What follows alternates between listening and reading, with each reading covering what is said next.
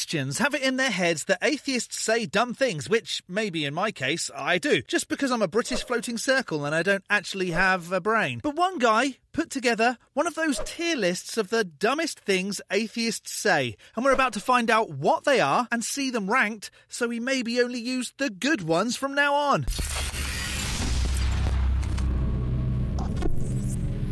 Hello, I'm the SkepTick, the British floating circle that watches people make extraordinary claims and then I explain why I don't accept what they're saying. You may have seen these tier lists where folks rank things based on their own opinion. Well, I found a very small channel that's done exactly that, with dumb things atheists say to Christians. These tables go from S, super or superb, and then A to F. And honestly, I'm not sure if F is then the worst dumb thing or the best dumb thing, but I guess we'll find out. But also, the thumbnail for the original video has this guy. Is this what Christians think all atheists look like? I can tell you, the atheists I know personally look like this. What a gorgeous bunch. Not that the thumbnail guy isn't, but you know. Anyway, before we find out the worst and slightly less worst dumb things atheists say, if this isn't your first SkepTick video, hit the like, the subscribe, and the bell, and maybe we can outsmart the algorithm. And a super thanks to those that hit super thanks in some recent videos. New Pitbull and R&B W Cat and Tequila. Lisa the Rainbow Giraffe bestows leaves upon you more hen. Plus, check out the link in the description or pictures below this video for I Follow the British Floating Circle t shirts. Right, I'm ready to learn about the dumbest list in the world. As the title suggests, these objections are pretty dumb. But also, these are the most common objections, so if you're gonna go into spaces with atheists, this will be a very useful video for you. So that being said, let's get right into it. Oh, good. I hang out with atheists all the time. This might be very useful. Oh, hang on, I'm not a theist. Never mind. Religion causes wars. F tier. Non sequitur. Just because wars are caused by people who are religious doesn't mean that God or the religion itself is not true.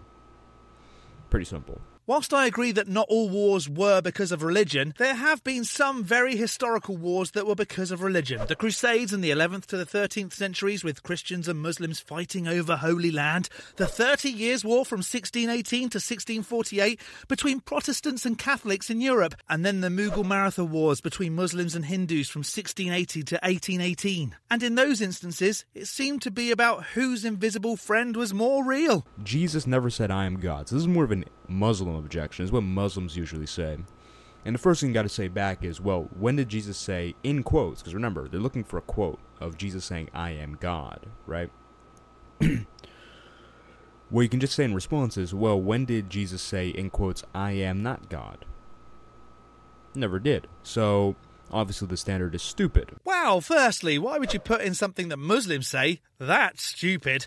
This was meant to be an atheist list, but also, it's not the first time I've heard, well, they didn't not blah blah blah. In a bit of frustration recently, I said that people who study evidence, like lawyers, that conclude that there is a God, can't be great lawyers. Yeah, I know I shouldn't have said it, but a friend whose husband is a very intelligent engineer said that he's often said that there's no evidence to conclude there isn't a God. Well, though, that's not how you conclude things. Saying the butler committed the murder until proven innocent isn't how we reach the truth. I could say that Lisa the Rainbow Giraffe, leaf be upon her, never said that she wasn't a God, so therefore she is until it's proven otherwise. It's the same as Jesus not saying he wasn't a God or whatever. Then you'd go on to how the Jesus said, I am, and all the other things that he said, like forgiving sins that only God could do. Jesus made pretty clear that he was God. Only God can forgive the things that it itself deemed wrong. That's like me saying it's a sin to spell skeptic with a Q, but if you say you love me, I'll forgive you. And I can make it pretty clear just by repeatedly saying that Lisa the Rainbow Giraffe, leave be upon her, is really the only God because I made it pretty clear. Next, atheism is better for society. I don't think that's even true because atheism has become widespread, and now we have a bunch of kids getting their wieners chomped off and a bunch of babies being aborted. That doesn't sound very good to me. What? Of all the dumb things I've ever heard, being atheist has zero to do with wieners being chopped off or babies being aborted. If the wieners being chopped off is a reference to trans people, then you might like to know that nearly half of folks in the USA that are part of the LGBTQ community are religious. And when it comes to killing babies. Never mind the fact that the Christian God wiped out an entire planet of people, including pregnant women, and also had to have houses marked with blood so as to not kill the wrong babies. But abortion isn't just for non believers. Maybe non believers are more open about abortion because they're less likely to be shunned from their community for choosing what to do with their bodies. And of course, an atheist can't say something is better or not for society because they don't have any standard to say that by. How dare you, sir? I don't need a god to tell me what's good for me or the ones I love. If anything, I'm better at determining than you because I don't need a supervisor to tell me what to do. Uh, epistemological standard, that is. You're an atheist to 3,999 gods. Going from 1 to 0 is quite a big jump, and there's good reasons to deny all those other gods we come up with the reasons for those. For example, Islam. My reason is Muhammad doesn't seem like a true prophet to me. In other words, in your opinion, you're not convinced of those stories. I see, I see. Judaism, Jesus Christ rose, Jesus Christ is the Messiah. All these other religions, you know, they. Polytheistic religions, for example. Our arguments for God's existence leave us with a monotheistic God, one creator. Really, 3,999 gods is silly. It's probably closer to 18,000 different gods, goddesses, and animals and objects that have been worshipped throughout time. Or if you take into account that each Hindu family has their own god, it could be over 33 million. But hey, listen, only your god is the right one. Next. Or they, they, or they don't even try to make an argument for the truth of the religion. For example, Buddhism. Buddhism just says live a nice life. It's not making a claim like Muhammad is a true prophet, Jesus Christ rose from the dead, I don't even know what Judaism's central claim is because I to refute Judaism, I just say Jesus is the Messiah. Your religion comes from Judaism. God of the gaps. So, okay, let me articulate this properly. When atheists say God of the gaps, none, in God of the gaps, this fallacy was originally created by a theist. Okay, atheists don't use it in the same way the God of the gaps fallacy was originally created for. But when they say that they usually use, say like when you use God as an explanation, just using God of the gaps.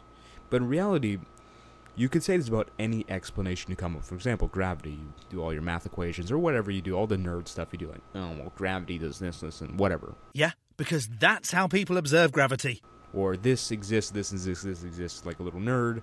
Then you come up to say, well, gravity is explanation for it the gravitational gravity theory, whatever. Do you know what you're saying? Someone could just come along and say, "Well, that's gravity of the gaps." Obviously, that's stupid, but that's the type of reason they're using here. No, no, gravity is observable. This is a bizarre way of defending your position, even if you recognize it's stupid. If you use something as an explanation, automatically it's God of the gaps. Doesn't make sense, but I could see how it'd be somewhat compelling at first glance, so I'll go with D. Uh, no, when something can't be explained with scientific means, instead of saying, I don't know, a believer says, obviously a god. And you're right, it can be filled with anything, which is why I say it was Lisa the Rainbow Giraffe leave be upon her, because she's just as likely to have done something unexplainable as your god. Can God make a rock he can't lift? I'll put that in D, because again, it could seem compelling at the start, because it seems like, oh, well, it seems like there's uh, it's the omnipotence paradox, right? But it's like asking God to make a square circle. Omnipotence doesn't mean you can do the logically incoherence. So the God is bound by rationality? Huh. That would mean it wouldn't be able to come back from the dead then. Okay, asking God to make a rock so heavy it can't lift is a logically incoherent idea, so doesn't impugn omnipotence. It does sound like a cop out, though. Having faith means you deny evidence. F. That's just not true. But why? What is faith? I understand it to be what people use when there is no evidence. Otherwise, it would be I have evidence that a God exists, not I have faith that God exists. Never mind the fact that faith can lead you to a not true. Like, you could have faith that you were given magic powers and can fly if you jumped off a building. Don't do that. Evolution. That goes in D. Or actually, you know what? Because to me, it's an F because evolution is completely compatible with Christianity. But I feel like to the average person, it might be a C. Because when you talk about when you talk to an atheist, what is the, one of the first things they bring up? Oh well, evolution theory has completely buried God. It doesn't follow from evolution that God doesn't exist. I'll agree with you there. Evolution isn't accepted by all folks that don't believe in a God. And, other than creationists for sure, a lot of religious folks accept evolution as true. I think it was St. Augustine, I believe, who said, you know, there's alternative creation hypothesis that can be made from Genesis. It doesn't necessarily mean exclusively seven day creation. Next, universe is too big. I don't know what that means. F. Hang on now, not knowing what it means doesn't make it bad. The universe could be infinite. We're one planet orbiting around one sun in a sea of 400 billion suns in one galaxy in a sea of 2 trillion galaxies just in the bit of the universe we can see. Why would a god only give two poops about this little blue speck? If God, why evil? Okay, this is an interesting one. This is an interesting one. That goes in B. So, the answer, because this is the, especially interesting because this is a big problem for like Calvinists, which I'm not. The answer is free will, and evil is a result of misuse of free will. Seems pretty simple to me, but I can see how they'd be a bit unconvincing because they may come up and say, "Well, why doesn't God create people who would freely choose not to do evil?" This is where a concept called, this is from Alvin Plantinga, this concept of transworld depravity comes in. Essentially, if there is the option to do evil, which if someone has free will, they have the option to do evil. If not, then they don't have free will. If they have the option to do free will, then that it logically follows that in a possible world they will do some form of evil. So to me that seems to get rid of the problem of God creating someone with free will that wouldn't do anything wrong. Because in some possible world, if they have the option, they will do some form of evil. But what about evils that don't originate from man? Disease exists. Why does that cause suffering when there's nothing the free will holder can do about it? Why does the God pick the free will of, say, a rapist attacking a woman over the victim's free will when her free will is being taken from her? It just doesn't intervene. And third, is there free will in heaven? Is heaven absent of evil and suffering? Well, if yes, then the God can create a world where free will and no suffering exists. What about the God having a plan? If it gives folks free will, but also knows what's going to happen, then that isn't free will. Why doesn't God just get rid of free will? Well, I would say it's a greater good to have free will rather than not, because, for example, love. Love can't exist without free will. People can't come into loving relationships with God, come to God freely if there is no free will, obviously. Hang on, that's not what love is. You have to love the God so you don't go to hell. That's not love, that's bullying. So, I do think free will existing is a greater good. And I don't think we're in any position to say, you know, the world would be better if not. Also, I mean, I already talked about, you know, atheists not really have a standard for good or bad. They know they have it written on their heart. It does say it in the Bible, but as far as within their own worldview, they don't really have a standard. Stop speaking for me. I don't do things because I'm not a person. If the only reason you don't do things is because you think a God doesn't want you to, then you're a person. Next, if God, why do some not believe? Another, I'd say the answer is the same as why evil. Just replace it with why do some not believe. Again, this is a problem with Calvinists. Big problem with Calvinists. But someone who affirms free will like me, not really an issue. Though, if that was the case, then it's on the God for me not believing in it, because it would know what it would take to convince me, be able to do whatever it took to convince me, and want me to be convinced. So that's just another cop out. Religion encourages intellectual laziness. F. Plenty of religious people were intellectual titans. For example, Isaac Newton. I can get on board with that, though the discoveries that these intellectual titans made had no bearing on the truth of their God belief, so. Religious people do evil. That's the same thing as religion. Same, same answer. I mean, yeah, that is a little dumb. But what do you mean by evil? Anything that goes against the well being of society? Sure. And if you look at people convicted of evil and put in prison, how many of those folks are religious versus being atheist? I think it's less than 1% of the prison population that identify as atheist. The cross wasn't enough for people who affirm salvation by works, that's a problem, but not for me. The cross is enough, so that's just wrong. To be honest, I don't know what you mean by the cross wasn't enough. To keep Jesus dead? Maybe because there's no proof that happened? The coming alive again bit, I mean. Just forgive Adam and Eve. Just forgiving Adam and Eve, like, oh, you're forgived, is not just. God is a maximally great being. God is maximally just and maximally loving. Okay? So, that doesn't work. Did you just make up some words and say, nah, my God doesn't do that to justify the God being an ass? Why do theists do that? But it's a God and it must know what it's doing. Who am I to question it? I'll tell you, you are worth more than a God that needs your love so it doesn't torture you forever. The universe is fine without God. F. I don't know why so many atheists say something like that because just because, for example, a house can exist without the builder just fine. Like the builder can die after the house is built and the house is not going to fall apart or something like that. But it doesn't mean that you don't need to find an explanation for why the house exists, right? Or you could just say, well, forget about the builder or forget about the potential builder because the house is fine without. Seems pretty stupid to me.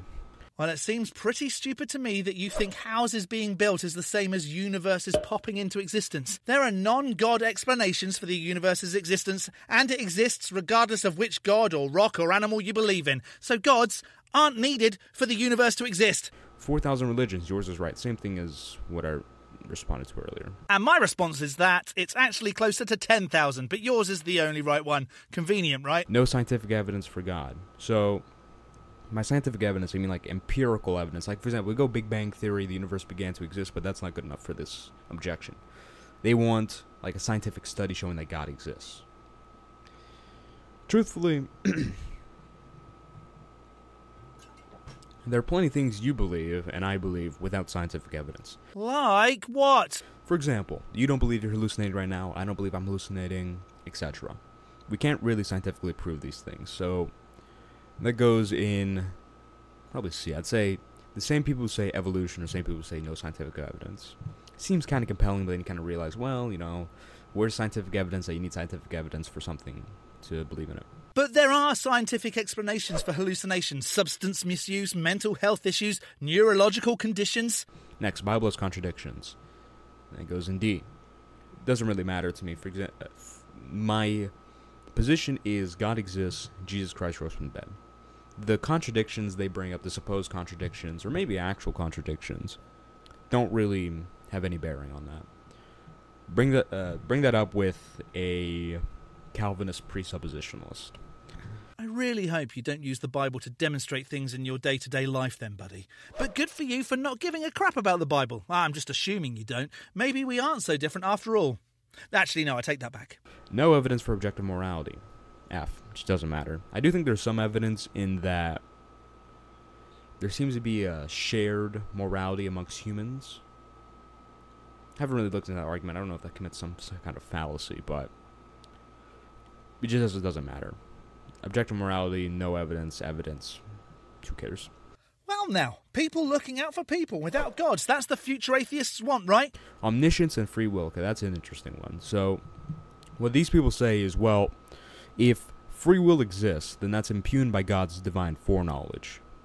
Well, that's just not true because divine foreknowledge is not causative. It doesn't follow necessarily that just because God knows something will happen, that therefore the person is forced to make it happen, impugning on the free will. Necessarily. That's an important word to use there. Cop out. But we've already touched on this, so whatever. Anti Pascal. So I assume this is like a reverse Pascal's wager. Wasn't really able to find it, but maybe if someone was using Pascal's wager, you could try and pull this out, but even then, I mean, that's F. Pascal's wager is pretty stupid, though. You get the I have nothing to lose by believing in a god.